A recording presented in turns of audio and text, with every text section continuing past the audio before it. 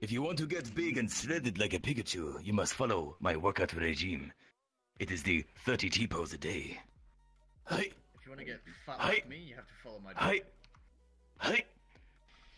That is the first three four. The rest will cost you. Alright, alright, Okay. alright, alright, alright, bro. I, I got you, I got you, I got you, bro. I got you, I got you, I got you, I got you, I got you. Alright, alright.